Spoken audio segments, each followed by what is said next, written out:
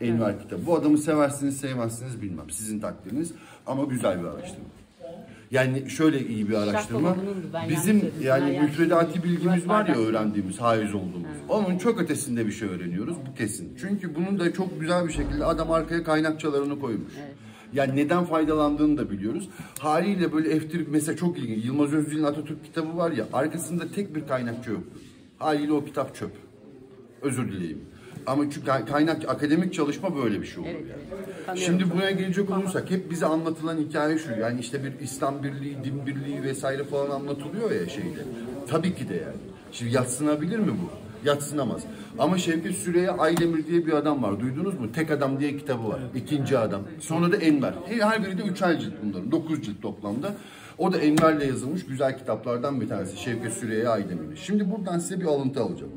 Diyor ki Şevket Süreyya Aydemir o zaman yani ahvali anlayın diye söylüyorum. Birinci Dünya Savaşı'na giriliyor artık. Kesinleşmiş olay. O sırada Munzur Dağı'nın eteklerinde bu da talim ettiriliyor askerlerine. Bu da yedek subay Şevket Süreyya Aydemir. Bakın şöyle. Diyor ki ilk işim talim saatlerinden başka bir der, e, bir de ders saatleri ayarlamak oldu. O sırada e, savaş biraz tavsamıştı. Yani yavaşlamıştır gibi düşünün.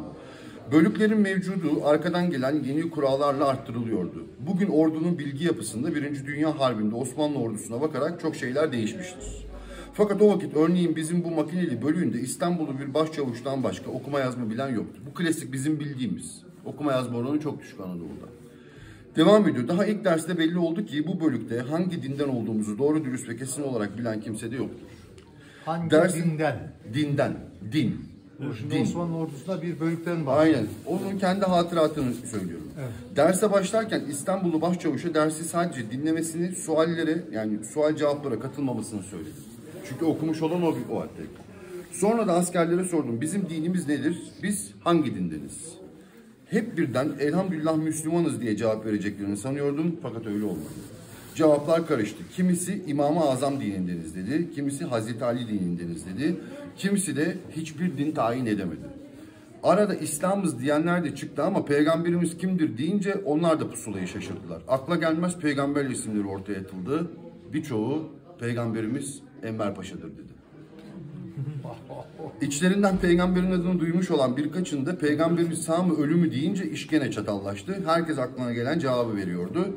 Bir kısmı sağ, bir kısmı ölüdür tarafını tuttular. Fakat birisinin kuvvetle konuştuğunu yahut eee, bir tarafın daha ağır bastığını görünce diğer tarafında kolayca o tarafa kaydığı görülüyordu. Bunlar okey. Sonra sorular şöyle devam ediyor. Peygamber yaşıyorsa hangi şehirde? Medine, İstanbul vesaire gibi şeyler oldu. En sonunda şu söyleniyor bakın. Fakat asıl şaşkınlığım ikinci derste oldu. Daha ilk sual cevaplarda anlaşıldı ki bu askerler yalnız hangi dinden olduklarını değil, hangi milletten olduklarını da bilmiyorlardı. Biz hangi milletteniz deyince her kafadan bir ses çıktı. Biz Türk değil miyiz deyince hemen estağfurullah diye karşılık verdiler. Ahval budur dostlar. Yani gerçek bize öğretilen müfredatın dışına çıkan hikaye budur. Bunu destekleyecek çok kaynak var. İnanılmaz fazla kaynak var. Ee, yani buradan durum toparlanıyor. Ee, ve şey oluyor. Bir birlik vesaire falan oluyor. Bunu söylemek lazım. Bu Enver'le ilgili ara sıra açıp buradan böyle notlarım var şununla ilgili. Merak ederseniz onlarla ilgili de böyle ufak alıntılar yaparız. Şimdi müfredatın bize öğretmediği ikinci kısma geçelim. Şöyle ki e, bütün askerler çarıklıydı. Kendi kaderine tayin burada terk edilmişti falan diye öğretilir değildir. Bizde kızaklı birlikler dahi vardır.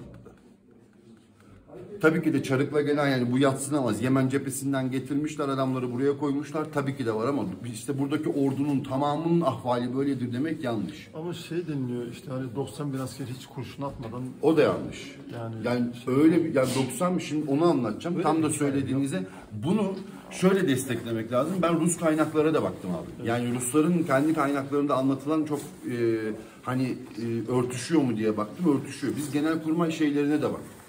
E, notlarına da baktık burada. Öyle 90 o, o orduyu çok aciz göstermek bu arada. Ama Sarıkamış harekatının ön- biraz daha şeyine gidelim berisinde. Bu masada konuşulan hikaye ne biliyor musunuz Sarıkamış'ta? Almanlar Rusları iki kez mağlup ediyor Tannenberg Muharebesi'nde. Tannenberg Muharebesi'nde kullanılan taktik Sarıkamış'ta uygulanacak. Olay bu. Bu konuşulmuş yani genel kurmayda. Enver falan da bu işin içinde. Burada 3. ordunun başında da Hasan İzzet Paşa var. Hasan İzzet Paşa bu Köprüköy muharebeleri denilen bir muharebeler vardır. Burada Rusları püskürtüyor adam. Ve püskürttüğünde Ruslar neredeyse serbestlik halinde geri çekiliyorlar. Çok ciddi bir geri çekilmeden bahsediyor. Fakat Hasan İzzet çok temkinli adam. O da geri çekiliyor. Yani püskürtmesine rağmen. 15 kilometre geri çekiliyor. Bunun üstüne... Köy dediğinizde aslında Erzurum. Erzurum tarafına doğru giderken yani biz en son Erzurum'a doğru giderken Köprüköy'ün oradan geçeceğiz. Ya da siz trenle Köprüköy'ün oradan geçtiniz. Öyle söyleyeyim. Pasinler Ovası. Pasinler vesaire. Yaş abi tam o taraf yani. Öyle düşünün, öyle hayal edin. Orada dediğim gibi püskürtüyor fakat o da geri çekiliyor. Bunun üstüne Enver Genelkurmay ikinci Başkanı Albay Hafız Hakkı'yı buraya gönderiyor. Diyor ki bak durum ahval nedir diye. Raporlamasında cesaretsiz bulunuyor en sonunda. Bunun üstüne Enver buraya geliyor. Burada 3. orada 9. 10. 11. kol ordu var bağlı olan. Şimdi şöyle bir şey rivayet edilir. Ben bu kitapta görmedim. Ama rivayetler arasında vardır. O tarihin magazinsel kısmını söylüyorum size. Hasan İzzet'e geliyor diyor ki bu arada Hasan İzzet Enver'in genel kurmay yani okuluk kenti hocası. Sonra ama Enver Genelkurmay Başkanı. Aynı zamanda ülkeyi yönetiyor yani Enver. Zaten Sul şeyle evli, Naciye ile evli. Yani tamamen o Enver'in elinde yani orada yönetim erk. Geliyor diyor ki eğer diyor benim diyor şeyden e, askeriyeden hocam olmasaydınız idam ettirirdim. Böyle bir tarihsel magazinsel kısmı var mevzunun. Yani Hasan İzzet'i ondan sonra çarpı koyuyoruz. Biz görmeyiz yani Sarıkamış Harekatı'nda. 9. 10. 11. kolordu var. 9. kolordu en tepede. 10. pardon özür dilerim. Onun başına Hafız Akgü'yü koyuyor. 9. kolorduya kendi geçiyor ki bu çok eleştirilir. Ya diyor ki sen Şah'ı e, ateş hattına gönderiyorsun. Sen genel kurmaysın kardeşim yani. Senin nasıl cephenin önünde falan böyle adamı çok eleştirmişler dinlemiyor. Zerre dinlemiyor yani. Bu arada bu hani klasik şey vardır ya Almanya'dan iki tane gemi geldi gitti bombaladı falan vesaire. O emri verdiğinde ki burada var bu. Hani diyor ki Rus donanması görürseniz sualsiz harp ediniz diyor. Sualsiz harp ediniz. E göremiyorlar ondan Sivastopol'u bombalıyorlar gibi. Ama em, e, şeyi emri veren Enver. Daha da ilgincini söyleyeyim. Burada emri vermesine rağmen kabineden kaç kişi biliyor? Bir iki. Ya Enver haricinde bilen yok yani savaşa gireceğimiz. Böyle de bir durum. Ve selam e, 10.da yukarıda, 9.da kendi, 11'inde aşağıda başka bir komutan var. Normalde masa üstünde anlaştıkları şey şu. 11.si Aras Nehri'nin olduğu tarafta süpürecek Rus şeylerini, birliklerini. Diyor ki ufak taarruzlarla, şeylerle yarı geri çekil, yarı ileri git. Sen diyor şey yapacaksın. 9. kendisinin başında bulunduğun düz bir hattan devam edecek. Oradan çevrilecek şeyle 10. ile birleşip. Onunla 9 arasında da 30, 31, 32. tümen var. Bu da irtibat sağlayacak 32. tümen arada. Tamam mı? Genelkurmay'ın notlarında saat saat anlatıyor bunu. Güzeldir yani en iyi veridir o bize. Fakat iş öyle olmuyor. Yani o Bardız Narman hattından birleşip tamam mı Oltu'nun aşağısında çevirecekler arka tarafı. Ruslar şey olacak pastırma. Bir kuşatma harekatı yani. Hiç öyle olmuyor. Hafız Hakkı geç kaldığını düşünerek Oltu'ya gidiyor. Oltu'yu alıyor. Dokuzuncu burada. Yani Enver'in olduğu. 11 süpürüyor. Yani o tarafta aslında bir boşta işi yani. Öyle düşünün. Ya bunlara göre. Hafız Hakkı diyor ki geç kaldım. Çok kısa anlatıyorum olayı. Ben diyor Allah Ekber dağlarından Sarıkamış önüne inelim. 30, 31, 32 var ya dedim ya arada böyle şey giden, pergel gibi giden. Kış şartlarında birbirlerine giriyorlar. Ben diyor kaçıncı tümen olduğunu bilmiyorum birbirlerini vuruyor bizim askerler. Şey basınca, hava basınca. Devam ediyorum. Hafız Hakkı aşağı inmeye çalışırken e, Enver nereye geliyor? Sarıkamış önlerine. Şimdi alışılık olmadığımız müfredati bilgi. Üç tane Rus general var Sarıkamış'ta. Diyorlar ki yenildik. Geri çekilelim. Duymuş muydunuz bunu? Diyor ki geri çekilelim çünkü bitti diyor. Hikaye bitti buraya kadar diyor. Bir general diyor ki zaten yenildik. Niye geri çekilelim?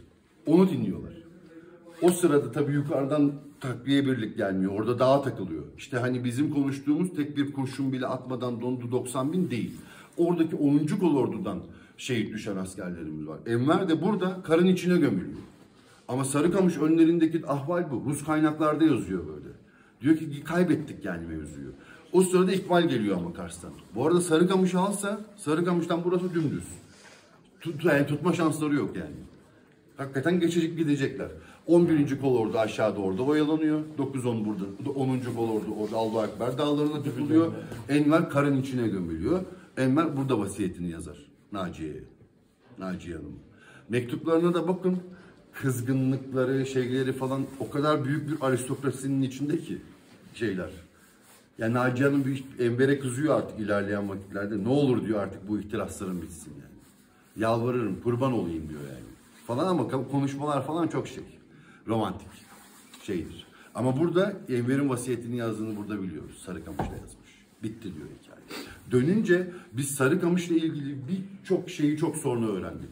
Birçok şeyi. Enver sansür uyguluyor kendi medyasında. Çünkü o zaman kendi medyası var. Tek bir kelime ettirmiyor. Ve bu uzunca süre böyle kalmış. O yüzden biz Sarıkamış Harekatı'yla gerçekleri çok sonra öğrendik. Düşün adamdaki baskıyı. Gittikten sonra dahi sansür devam etmiş. Bu kadar şey yani baskı. Hatta Almanya'da e, ateşe militerken gittiğinde Enver'in adına Almanlar sigara çıkartıyor. Bir köprüye ismini veriyor. Yani alelade bir herif değil bu arada. Onu söyleyeyim. Tam Almanlar genel kurmay olarak görmek istiyor sonunda. Çünkü bir müttefiki hikaye var. Alman niye bunu ister? Çünkü Ruslar da kendi batı cep, doğu cephesinde tek başına. Bir cephe daha bölünür. Anlatabildim mi demek istedim? O yüzden Osmanlı ile müttefiki önemsiyorlar Almanlar. Ama Osmanlı kimi istiyor esasen biliyor musunuz? İngiltere'yi. Ama olmuyor. Sonrasında zaten Almanlarla müttefik oluyoruz. Kısaca öz olarak böyle bununla ilgili de konuşuruz. Bugün bile, bugün bazı Alman siyasetçileri aynı şu sizin anlattığınız tabloda Türkiye ile birlikte olan Ruslara karşı falan, Çin'e karşı diye şeyleri var. Yani Aynı tablo. politika şey olmaz. Ee, evet. Yani devam eden çok Bugün şey var. çok konuşuyorlar var. yani. Amerika'ya karşı Şimdi Türkiye, doğru, o- doğru ama mesela şey, Enver'in de burada şeyini gözetmek lazım. Bu adam bir devrime kalkıyor kendince. Şimdi bunu yapsa adam ona göre şey yapmış. Mesela bir kıyafet belirlemiş. İstanbul'un diye bir kıyafet belirliyor. Enveriye diye bir şey var. Şapka var. Anlatabildim mi demek istedim? Yani her devrim kendi kıyafetini beraberinde getirir. Bu da kesindir. Yani bu adamlar e, öyle alelade herifler değil. Ama Yani- sonuç olarak Hansların yerine Ahmetler Mehmetler ölüyor değil mi? Tabii o kesin. Yani. Ee, o zaten burada ihtirasını anlıyorsunuz bu adamı. Yani. Ama şunu söylemeye çalışıyorum. Bunu tarihin çöplüğüne gömelim bu adamı. Okey. Ama senin bir gerçeğin bu. Tarihinin bir gerçeği. Yani kaldırıp yok sayma şansın yok. Ki bu adamın da e, kendince yaptı. Şimdi orada Rusların vesaire uyguladığı daha önce panslavist akımı gördü bu herif. Yani Turancılık kulağından çıkmadı adam. Biliyordu zaten yani. Anlatabildim mi demek? Yani adamın o ihtirası ve e, ya buraya geçseydi Anlatabildim mi demek istediğimi yani şeyi? Yani tarih ilginç yazım ama ihtiraslı mı? Bakın öyle böyle değil. Şevket Süreyya Aydemir Tek Adam kitabında yani Mustafa Kemal'i yazdığı kitabında ve Enver'i yazdığı kitabında iki tane başlık açmış. Bir tanesi Mustafa Kemal'in Enver kompleksi, bir tanesi Enver'in Mustafa Kemal kompleksini yazmış. Bu onun cümleleri benim değil. O kendince böyle yazıyor. Bakın arka tarafında burada şeyi vardır. Mustafa Kemal'e yazdığı mektuplar var. Sevgili kardeşim, canım, neredesin? Böyle birleşelim, şöyle yapalım. Atatürk'ün Ama Mustafa Kemal ilginç şekilde var. Yok, o da kardeşim diyor mu? Yani şöyle çok kardeşim canım cicim yok. Ama çünkü şöyle bir durum var. Burada Kazım Karabekir, burada Doğu ordusunun başındayken çok ilginçtir. Milli mücadele patlak verdi. Artık taarruza geçtiğimiz sırada bir tek askeri buradan kımıldatmıyor Mustafa Kemal. İlginç değil mi? Nasıl olsa sınırı belli. Kars Gümrük Anlaşması oldu. Enver böyle bir şey işte. Yeni bir Anlatabildim mi demek? Öyle bir tehdit yani. Bir şey ilave edebilir miyim? Lütfen buyurunuz. Enver Paşa Atatürk'ten olan bir mücadelesinde hep e, damat olduğu için hep önde. Aslında Atatürk e, onun için sordum bak sizin de bilginiz teyit ediyor onu. Enver Paşa kendinden emin ve bir adım önde olduğu için öyle davranıyor ama Atatürk her zaman bir adım geride. Şimdi Enver'in Damat değil. Ondan sonra kompleksleri de ondan beraber. Mücadeleleri de böyle. Tabii kesinlikle. Şimdi şöyle e, tartışmalar şöyle olur. Mesela 31 Mart ayaklanması var ya Yıldırım ordularının başında Mustafa Kemal geliyor. Ama İstanbul'a ilk gelen Mustafa Kemal değil. Daha hızlı bir şekilde Enver geliyor. Atın üstünde bir tane Türk bayrağı falan var böyle çekilmiş, çizilmiş, özür dilerim fotoğraf şey var. E, çizim var. Hürriyet kahramanı Enver diyorlar. Ve bütün medya, bakın istisnasız bütün medya Enver'in bu fotoğrafıyla birlikte hürriyet kahramanı şeyi veriyor. Yani medya elinde adamın. Yönetim elinde. Bunu bir şekilde ayarlıyorlar. 31 mesela çok önemlidir bu. Ya Enver'in dönüm noktalarından tanesidir ama kendi hazırlıyor bunu. Demek istediğim o.